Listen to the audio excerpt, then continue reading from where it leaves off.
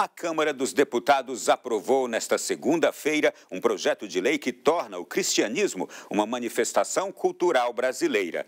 Os cristãos estão diretamente ligados ao desenvolvimento e à história do Brasil. A influência cristã está presente nas artes, no ensino, na cultura e na política do país. O projeto aprovado na Câmara é um alternativo do texto apresentado pelo deputado federal Júlio César Ribeiro. No plenário, o parlamentar destacou a importância do cristianismo para a sociedade brasileira. Não há dúvida de que o cristianismo se encontra profundamente enraizado na cultura de grande contingência do povo brasileiro, em seus valores em inúmeras manifestações culturais. Já o deputado Joaquim Passarinho lembrou que a vivência profunda do cristianismo é a solução para o fim dos conflitos entre os povos e nações. Cristianismo representa caridade, humanidade, fraternidade. Talvez isso que o mundo inteiro precisa, não só o Brasil.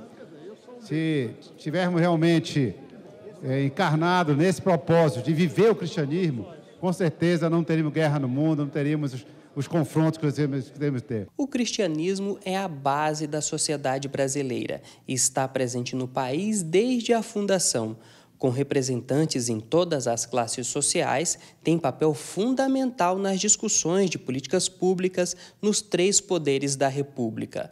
De acordo com o último censo, representa 86% da população do país. Para o professor Felipe Aquino, a aprovação do projeto é relevante. Ele também destaca o papel fundamental da Igreja Católica na formação do Brasil. De fato, o Brasil nasceu no berço cristão a primeira celebração que houve aqui no Brasil foi a Santa Missa, celebrada por Frei Henrique de Coimbra. Né?